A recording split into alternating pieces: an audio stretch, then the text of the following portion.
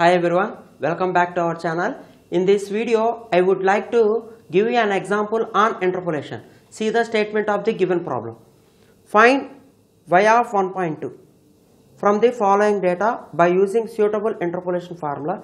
This is the given data. First row represents x values, second row represents corresponding functioning values of y. Okay. So here we have to find out y value at the point 1.2. So here x value is 1.2. Clearly 1.2 lies in the starting of the given data. See x value started from 1 onwards 1, 1.4, 1.8, 2.2 these are the x values and uh, second row these are the functioning values. Since x is equal to 1.2 lies at the starting of the data particularly in the first interval we can use the Newton's forward interpolation formula. Okay? Newton's forward interpolation formula is the suitable interpolation formula here. So before applying Newton's forward interpolation formula first we should construct forward difference table. See the solution. Take side heading. Forward we should construct forward difference table for given data. Okay? Also we are observing that the values of x are separated by the equal difference.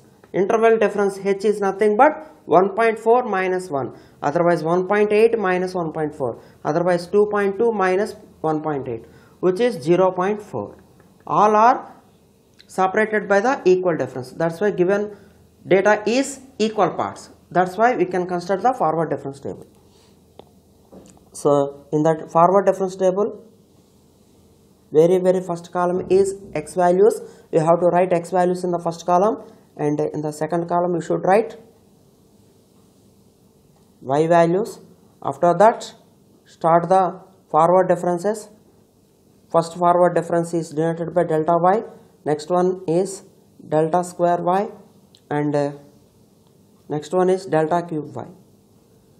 Since number of given data points are 4 1 2 3 4 so number of given data points are 4 that's why up to third order forward differences exist. Okay? So write the x values. 1 at some distance write second x value which is 1.4 after that 1.8 and now last one is 2.2 last one is 2.2 see write the corresponding functioning values. At 1 at x is equal to 1 y value is 3.49 at 1.4 4.82 at 1.8 it is 5.96 at 2.2 y value is 6.5 okay now we have to fill the differences. How can we fill the first order forward differences? Very simple. Subtract the lower lower value minus upper value. So you should write difference between 4.82 and 3.49 here. Use the scientific calculator. See 4.82 4.82 minus 3.49 is equal to 1.33 please write the difference in between them only. Now subtract this value and this one. 5.96 minus 4.82 in this way we have to take the differences. 1.14 now 6.5 minus 5.96 lower value minus upper value. You should write the difference in between them only.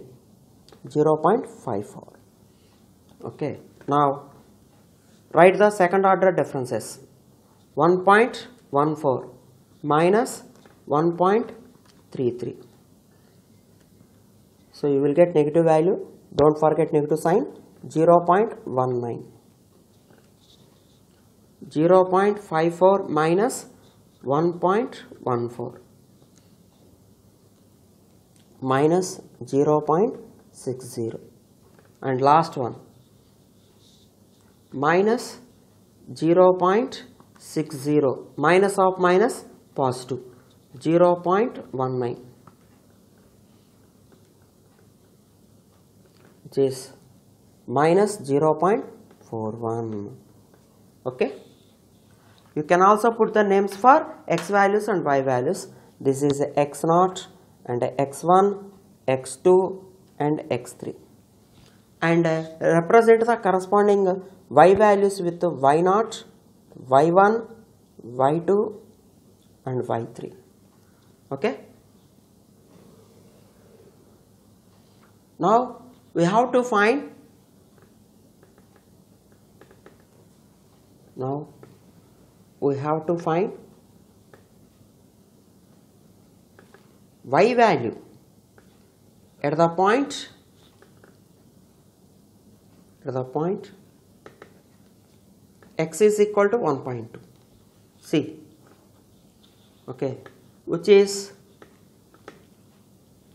which lies at the starting of the data. Starting of the given data. Hence Newton's forward interpolation formula is suitable.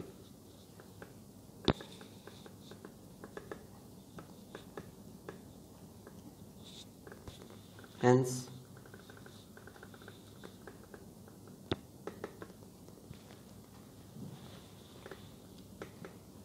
interpolation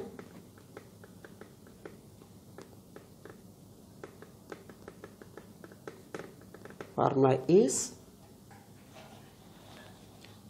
Newton's forward interpolation formula.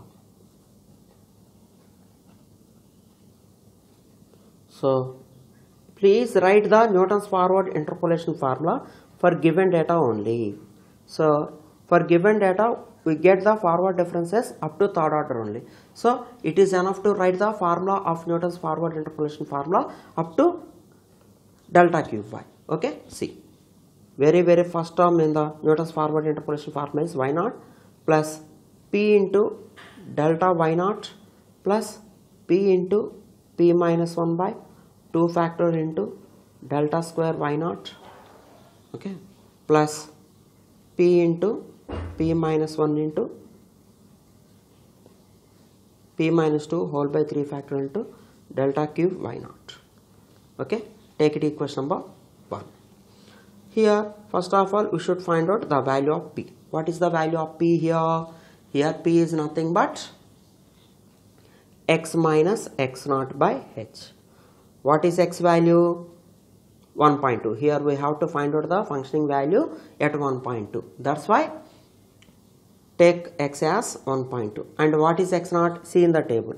Very very starting value of x which is 1 by interval difference. Already I told you interval difference h is 0.4 okay that's why you should write 1.2 minus 1 over 0.4 which is 0.2 by 0.4 nothing but 2 by 4 what is 2 by 4 1 by 2 which is 0.5 so don't forget one thing. In your whenever we are going to apply Newton's forward interpolation formula in that p is always positive. Don't forget it. Okay?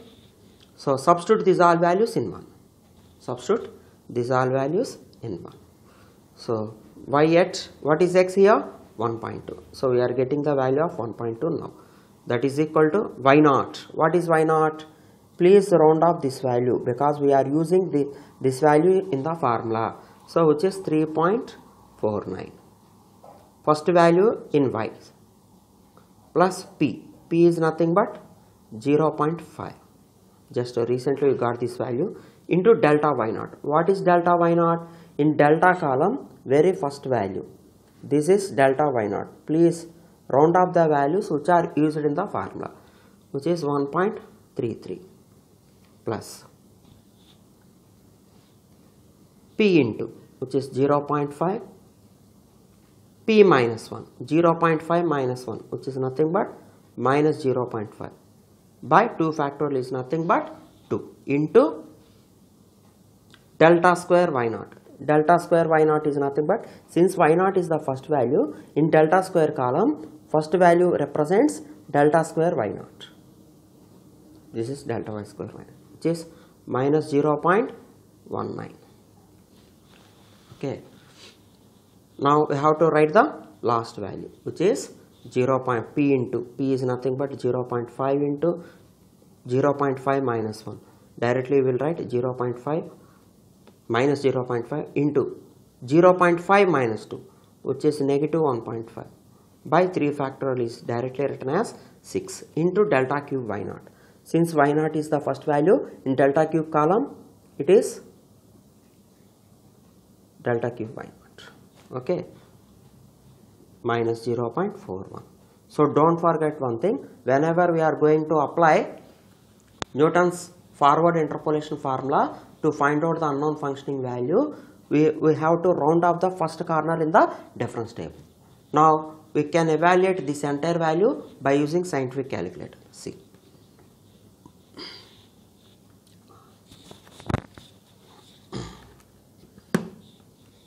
So very very first one is 3.49 plus bracket open 0.5 times of 1.33 bracket close. Here we have one negative sign. So plus into negative negative. Take this symbol directly.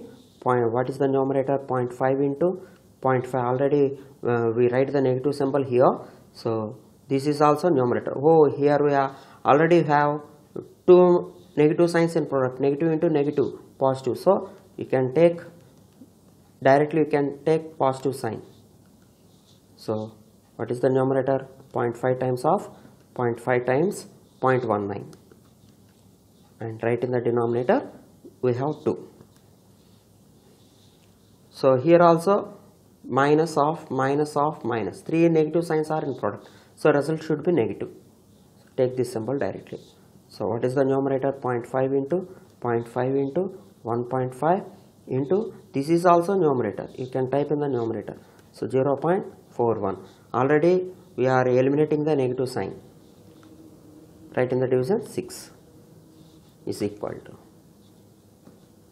So enter value is 4.1531 and write in the bracket approximately so this is the way of finding unknown functioning value from the given data. Actually here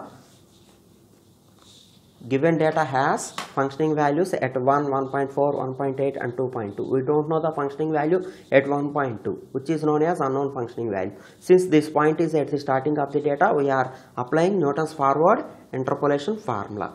Okay. Before that you should construct forward difference table carefully. Okay. and uh, one more important thing is before applying Newton's forward forward interpolation formula. And uh, before constructing the difference table you should observe that whether x values are equally spaced or not. The difference between x values are same or not. If interval differences exist then only we are able to apply Newton's forward interpolation formula otherwise Newton's backward interpolation formula. And uh, one more important thing is after getting the answer you can check the answer yourself okay here y of 1.2 value should lies between y of 1 and y of 1 and y of 1.4 okay this is y of 1 and y of 1.4 so your answer should lies between 3.49 and 4.82 so here we are getting 4.1531 which is lies between uh, 3.49 and 4.82 that's why maybe your answer is approximately correct answer. Okay? In this way we can apply the newton's forward interpolation formula. Thank you. In the next video i will give you an example on newton's backward. Thank you